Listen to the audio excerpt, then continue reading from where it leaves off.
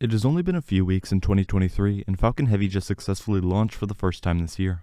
Yesterday's launch was a part of the USSF 67 mission, which featured a lot of similarities to the previous USSF 44 launch. Here we saw liftoff, a dual-side booster landing, and eventually the deployment of this payload to its destination. While many aspects of this launch were routine, there were a few unique features that correlated to specific mission requirements. For one, Falcon Heavy featured a gray band toward the top of the launch vehicle. In addition, the center core was in an expendable configuration with no grid fins or landing gear and never attempted to touch down after launch. In this case, both of these aspects were mission specific to make sure that the payload could reach its distant orbit, factoring in size and weight, just to name a few. Something we can expect to see change in the near future as more launches are scheduled with this launch vehicle. Here I'll go more in depth into yesterday's launch, White featured a gray band and an expendable core, Winter Falcon Heavy's next launches, and more.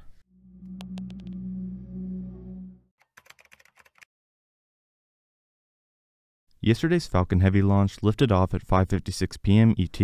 Soon after, it cleared the pad and began accelerating. 1 minute and 15 seconds in, it reached max Q without any issues and continued on.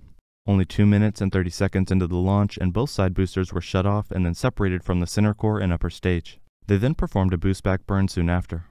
4 minutes into the launch and the center core engine was cut off before separating from the upper stage. At this point, the center core was done with its mission and did not return for a drone ship landing as it was in an expendable configuration.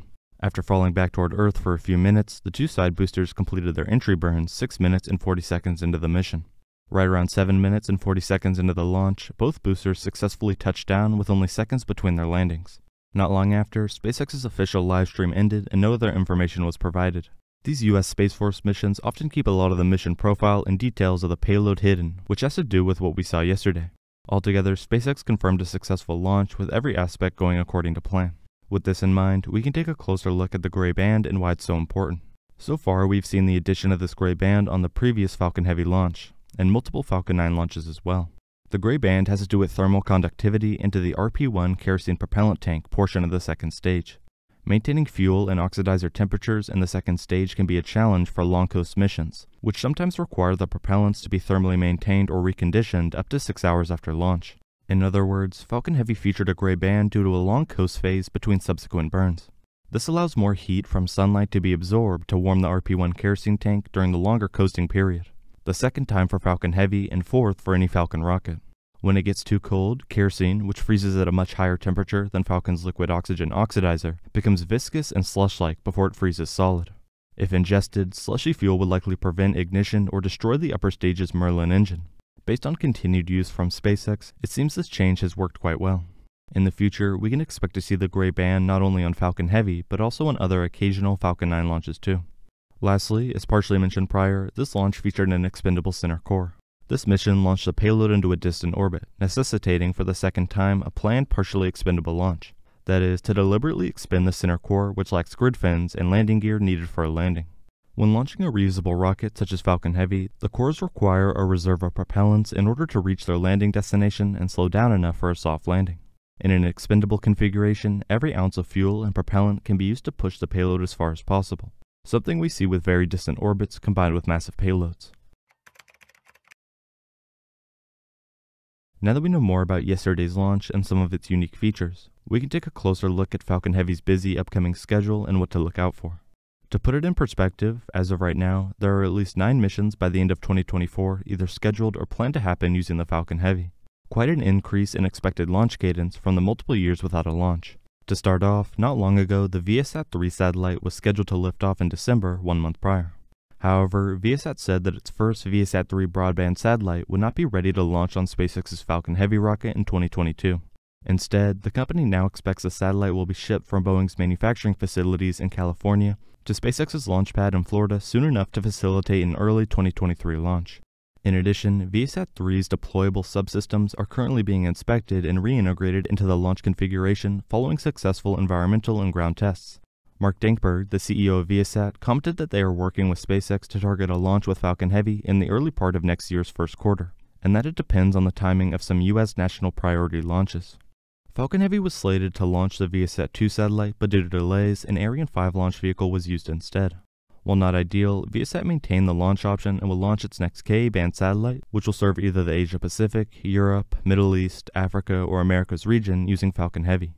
During this mission, the upper stage of Falcon Heavy will deploy the satellite into a near geosynchronous orbit that will include a coasting stage several hours long between burns. As far as the payload itself, Viasat-3 is planned to be a global satellite constellation consisting of three high-capacity Ka-band satellites that are expected to increase the coverage and capacity of the company's network with the goal to bring high-quality, low-cost connectivity where it's needed most. Each Viasat-3 satellite is expected to have more than 1 terabit per second of throughput capacity, making them the highest capacity broadband satellites ever launched. The idea is, from air to land to sea, Viasat 3 satellites will serve homes, businesses, communities, airlines, business jets, and enterprises such as energy, militaries, and governments. As each satellite launches, service in that region will turn on. Some of the other missions that could happen include another launch in January, then April, October, and into 2024. It's possible that in October of 2024, Falcon Heavy will help NASA launch the Europa Clipper.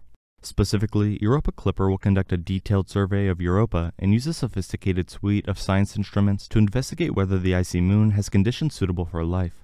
Key mission objectives are to produce high-resolution images of Europa's surface, determine its composition, look for signs of recent or ongoing geological activity, measure the thickness of the moon's icy shell, search for subsurface lakes, and determine the depth and salinity of Europa's ocean.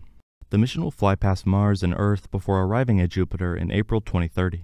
Back in 2021, NASA awarded this launch to SpaceX and Falcon Heavy for a price of around $178 million. Just a few examples of exciting upcoming missions that we could see happen. Taking a closer look at the rocket itself and specifically its boosters also help highlight the overall system and mission-based decisions the company makes.